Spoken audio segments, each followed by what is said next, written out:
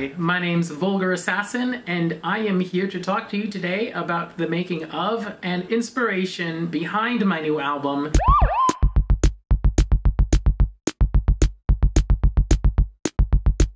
Giallo is a concept album. It is an album that comes from films that I uh, remember watching growing up. The only reason she babysits is to have a Oh, place to. shit. I have a place for that.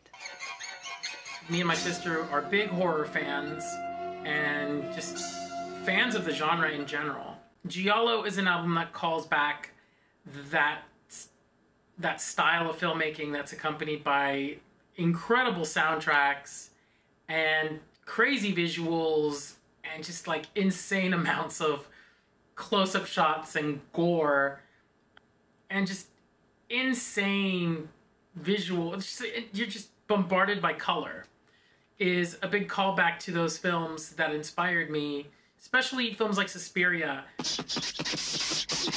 where you would watch the film and it would be complemented by the soundtrack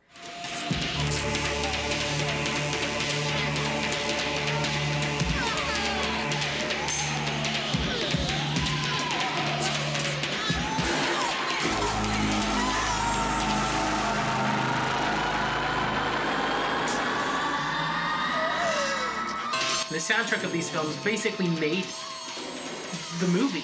If you you can't not have them together to have them not work. Uh, for example, Suspiria is one. The music soundtrack's done by Goblin, amazing band to this day. They still perform and they do really really cool stuff.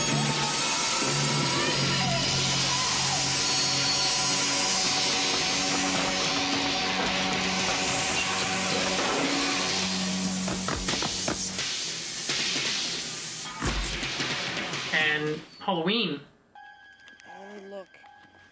Look where? Behind the bush. I don't see The guy anything. who drove by so fast that one you yelled at. you oh, can't So, associate you can't have one element of these films without the music Hey, creep. a lot of times the beats will signify the intent of the character Lori, for dear. example in halloween you have that driving beat Wants to take you out that tonight. mimics the driving force of michael myers as he's stalking his his victims as he's you know committing the murders as the movie goes the beat just goes and continues and doesn't stop and you in that energy. You're right there and you get that perspective. You get that feel, you get the heartbeat going. You have all of that happening in the film and you get that through the music. Uh, when i started the vulgar assassin project it was originally intended to be a riff and parody uh, to internet music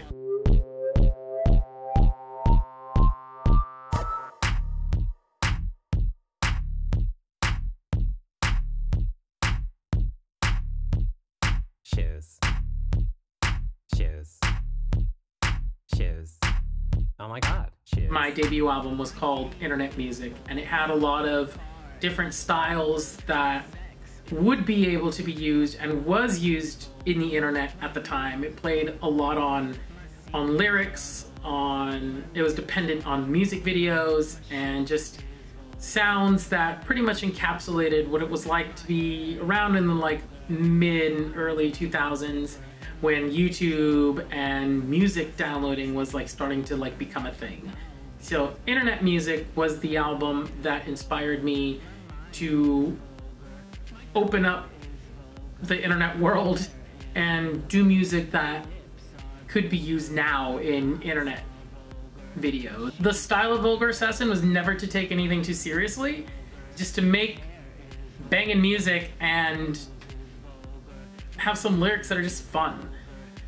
Which is a big departure from the stuff that I normally do. I'm normally big into dance and pop music, and I take that very seriously. But the Vulgar Assassin project is a chance for me to really like express my creative muscle and really explore genres and explore the kind of music that I wouldn't necessarily be able to do comfortably in my other projects.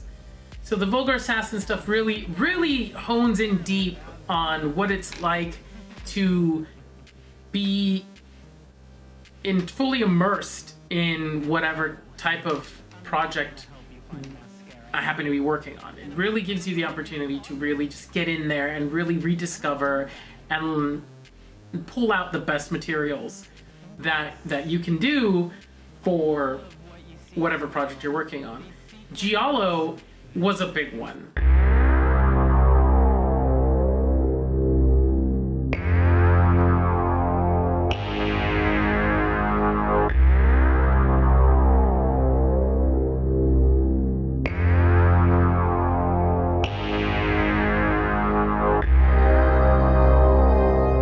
When I started working on Giallo, um, I had a big background in filmmaking. I was a filmmaker long before I was a musician. You in hell, motherfucker.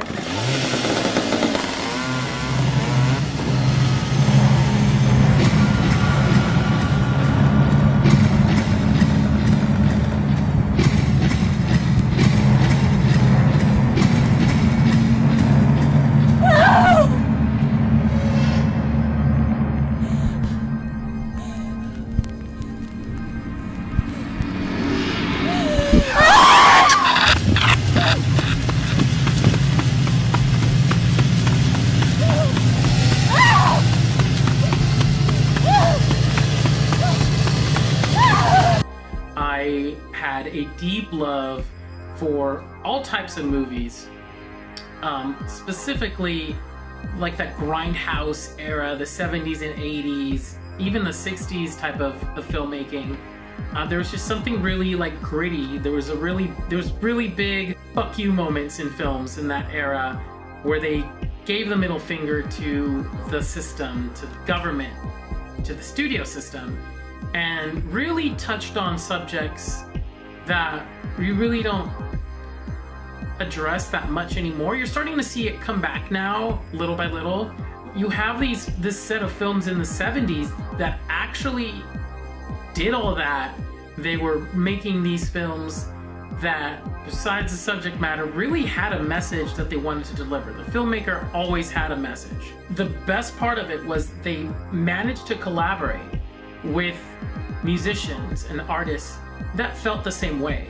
Dario Argento, who frequently collaborated with Goblin, John Carpenter, who just did it himself because he felt like, you know, sometimes the vision you need to see it through on the other side or really flex that muscle. With me being a musician and having a love for all of these movies, and then falling out of it and rediscovering it again when Grindhouse came out.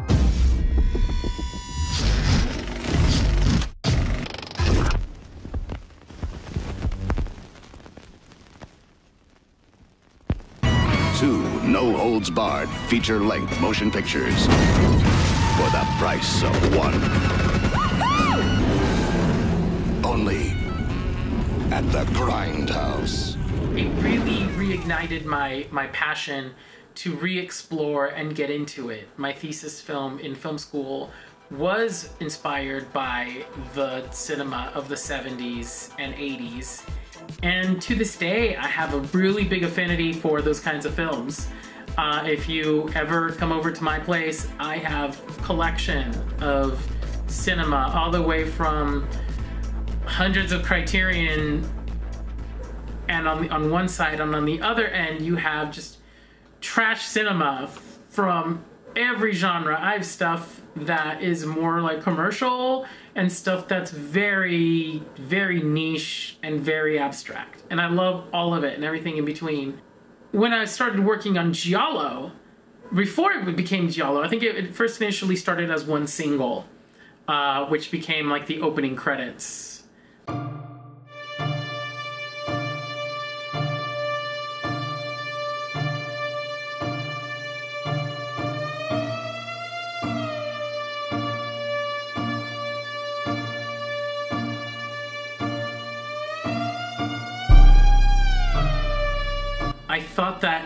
great to actually like explore this more. I started falling in love with this style of of basically felt like I was making a film. So I gave the album a backstory. The album does have a story. And it's kind of a weird one. Uh, and I think it's it does also pay uh, an homage to the genre. Giallo tells the story of Bethany Myers. She gets invited to the academy and to perform for this opus by this director who's really inspired by the song No, I Won't Help You Find Mascara. I think you're a bitch. Your mom is a bitch. Your dad is a bitch. And your dog is a bitch. It's been reworked and made into this operatic, like big art piece.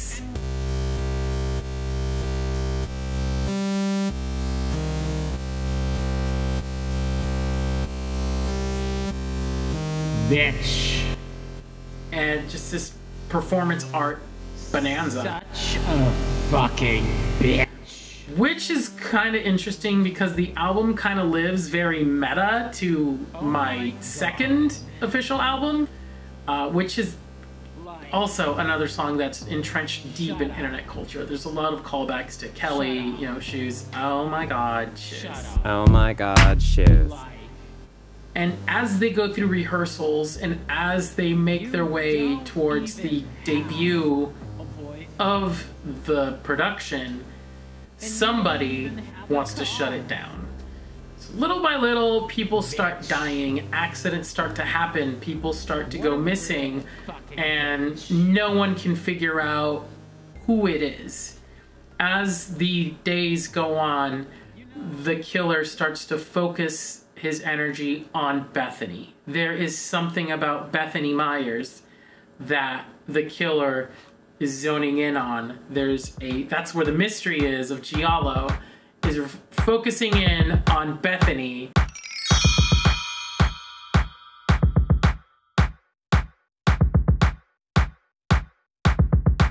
To see and figure out who it is, what it is that they're doing, and what the resolution's gonna be.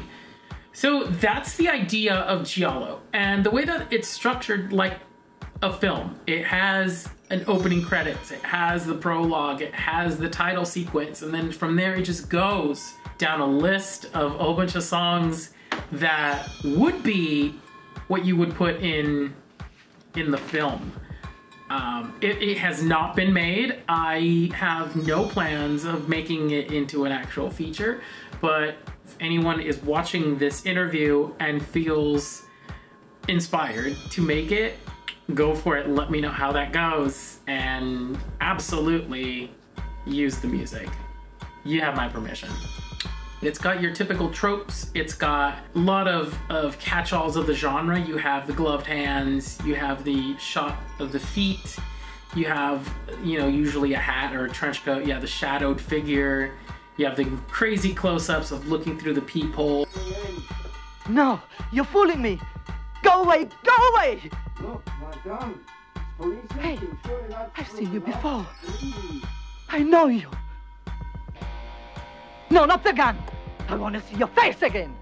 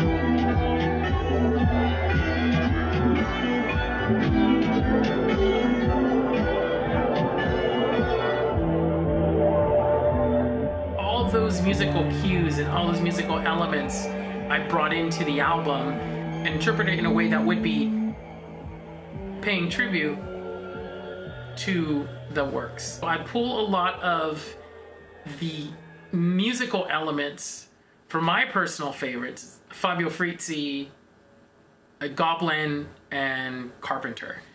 Uh, I love how simplistic John Carpenter's beats can be, or at, at first they seem really simple, but then when you really like listen to it, when you really go into it, all the synthesizers and everything, there is a complex structure to it. There, there's some sort of madness to the systemic pulsing of the beat, and a lot of times the beats will signify the intent of the character.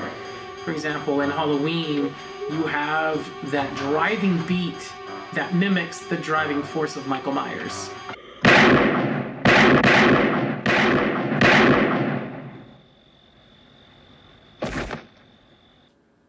In Suspiria, you have these amazing sounds by Goblin that invoke not just instrumentation, but the way that they use vocalists in the music, in the background, make sounds and yell at you. You're put at the center of the music. Uh, they fling accusations, so you'll be listening to the music and you, you'll hear the synthesizers, the guitars, and then out of nowhere, you'll hear someone go, Witch!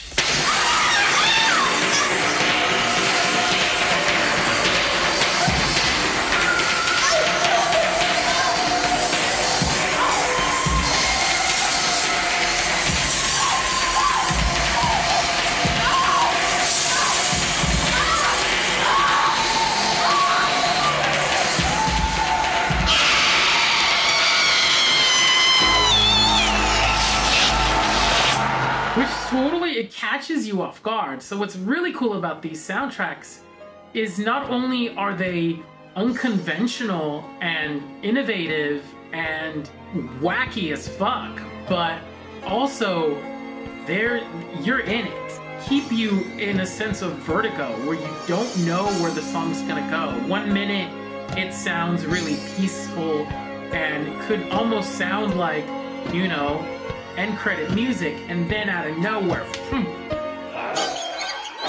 it flips on you.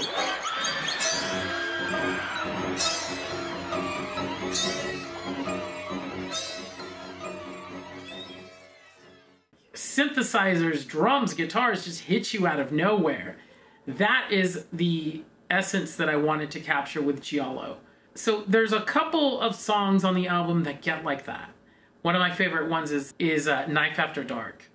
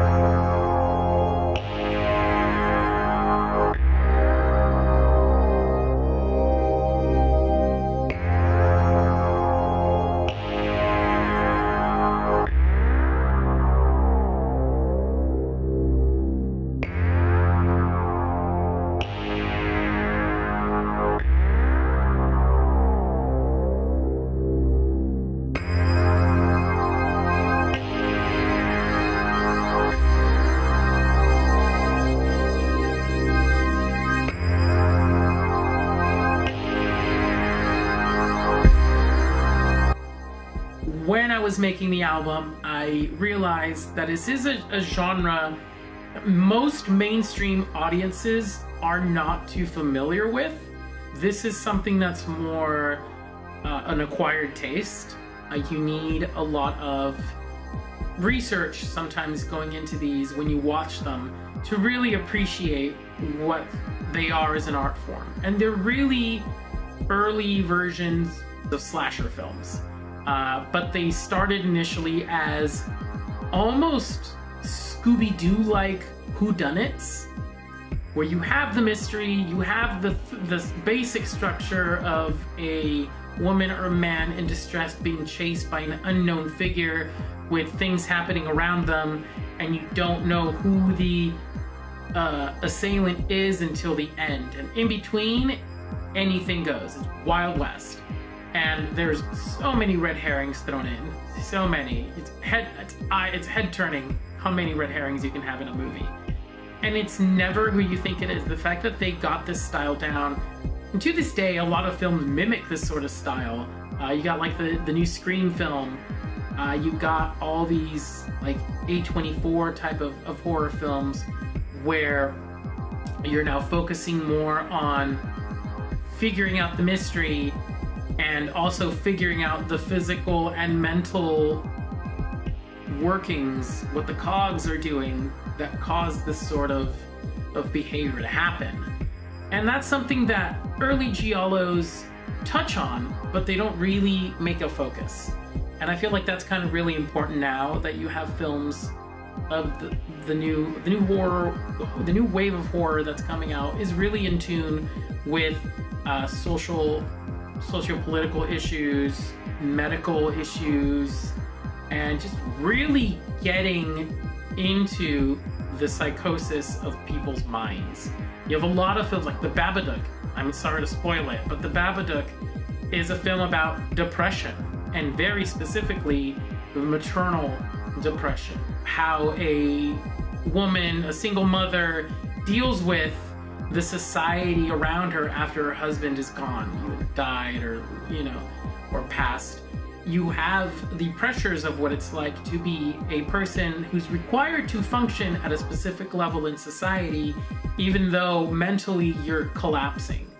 You got films that study this now, where this is becoming a big cultural cultural thing.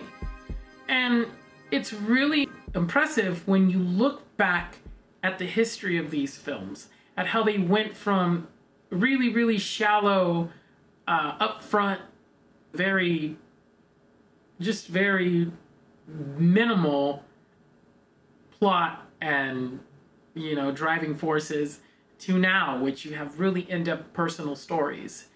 So that's what's really cool.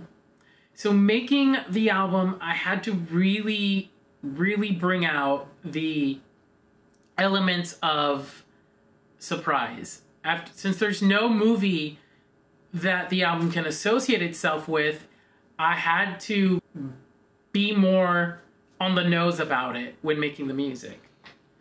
I also need to entice the audience with a song that gets you from the beginning. So when I chose the first single, I had to be it was after the album was was made, I had no idea what song to use because when you have an album like this, it's really difficult to find a standout single that would encapsulate the album. Uh, so I had so many songs that are very similar and previously, I've had no problems identifying. I knew Trap Zombies from my first album was going to be my single because it's very commercial and it's a very good like introduction to me in that project. And with Beautiful Nights and Nostalgia, I Won't Help You Find Mascara was very easy to release as a single because of its callbacks to the internet culture and just the fact that it really captures the essence of the new album. With Giallo, it was a little tricky. I had to choose a single that didn't just give away the album, but really keep it a mystery, but still really showed the listener what it's about. And I finally, after months of delay, I discovered it. Knife After Dark. Knife After Dark was the second song that I made on the album.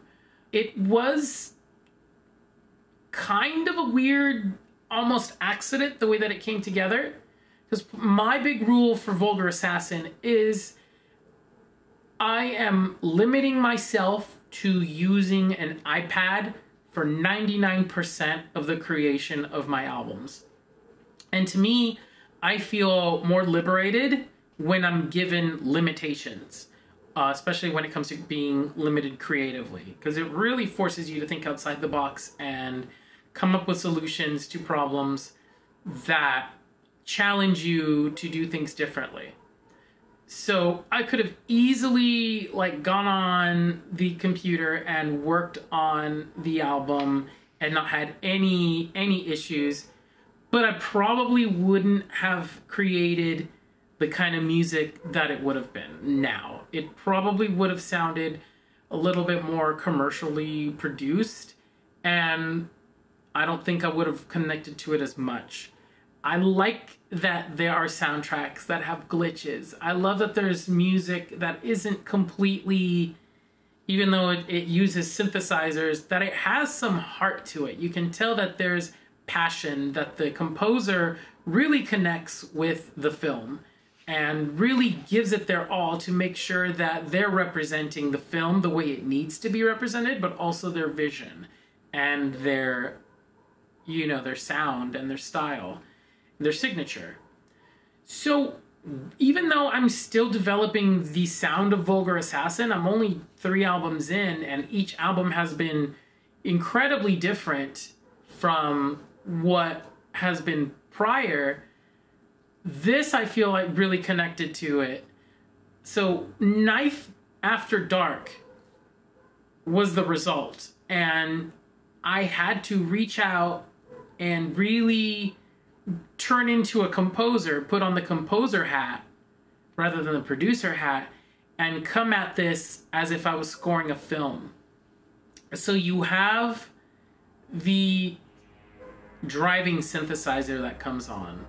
You have the the organ that's just going, you know, and you have the drum machine which is doing its thing, you know, to the do do do do do do do do do do.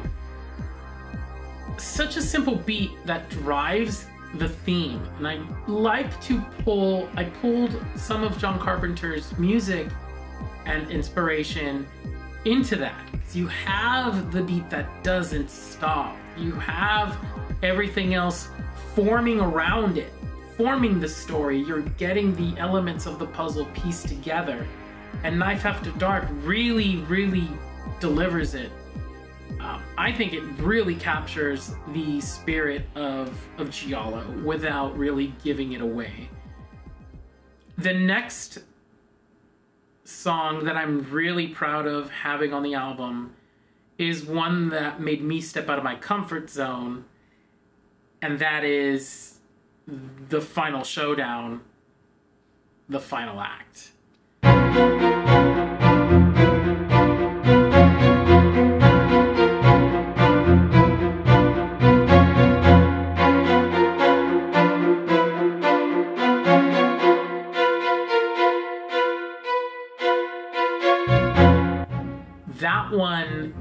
Is one that I it's a long song, but it also is inspired by Fulci, Fabio Frizzi, and Dario Argento. It has a lot of, it's stretched out and it's broken up into three different acts. The first act of the song is very melodic, very almost hopeful, like you're at the, the, the, the fake ending of the movie. You have Bethany, who has, you know, finally conquered the, the, the bad guy and is walking out toward to the sunset, you know, a survivor. And then you have the second act, which is the build-up where you actually realize that no, like the killer didn't die and the killer's getting ready to strike again. And the music starts to really progress. And then you get into the part of the song where I introduce uh, string instrumentation. Uh, I worked with a small little orchestra to get it together and really get to put on the composer hat and really get the sound of the violins, the cellos, and the bass really, really lined up and in tune the way that I wanted it to sound, but still enough where the sound is full, but you can still add in more electronic elements. And it was interesting to do because I didn't have access while doing that to a drum machine. I didn't I wasn't able to bring any synthesizers or anything to get to that session. Uh, and I reworked that song and released it on the album in late July.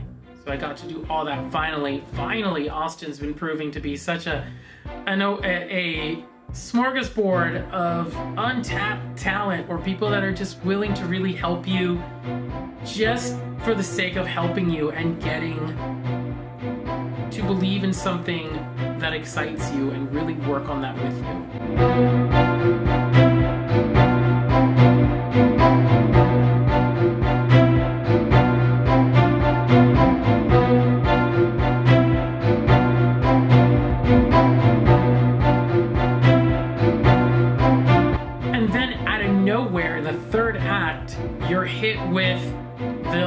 Guitar.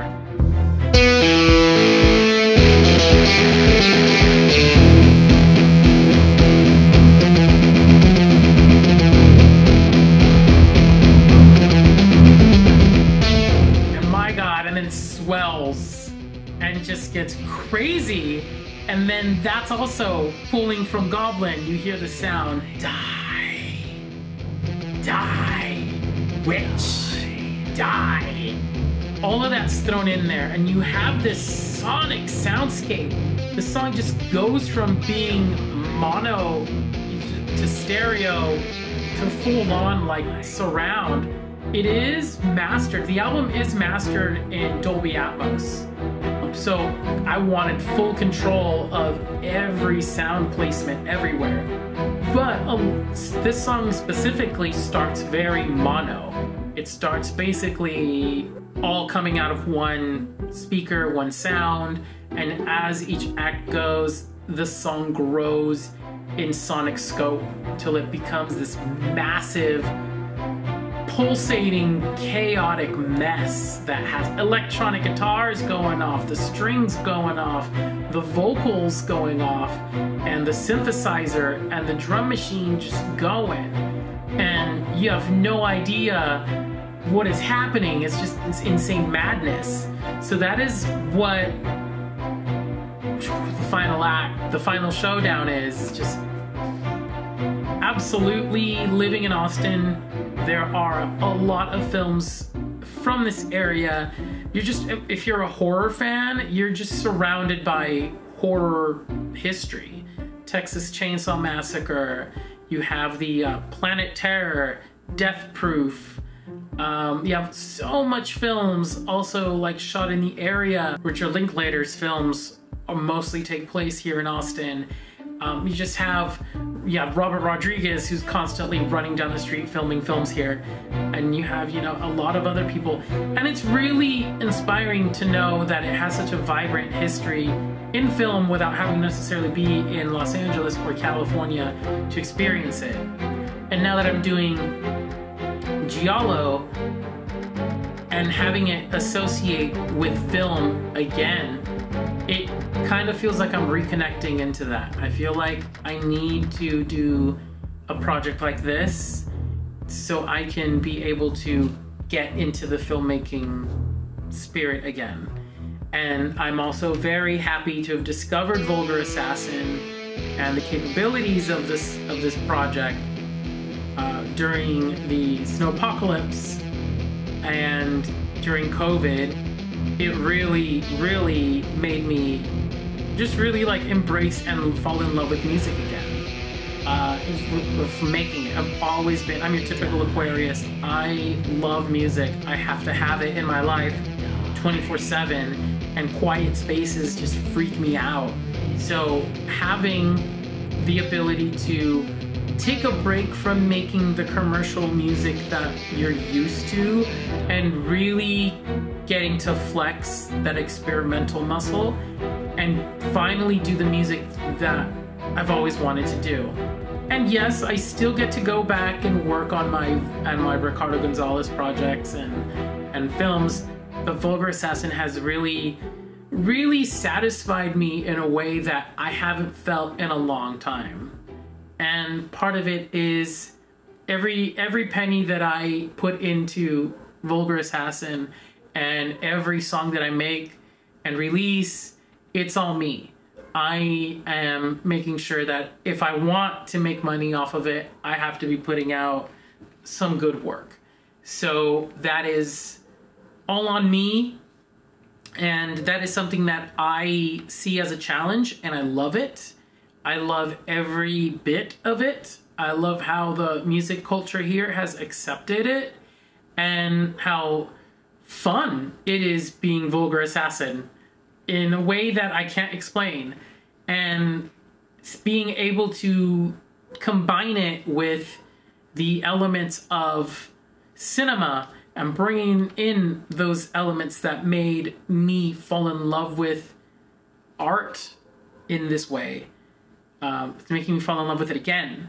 And I am super excited. I think of all the albums that I've made, and I know Giallo was was supposed to be released on my birthday in February and has been just getting delayed just over and over and to the point where I almost gave up on it.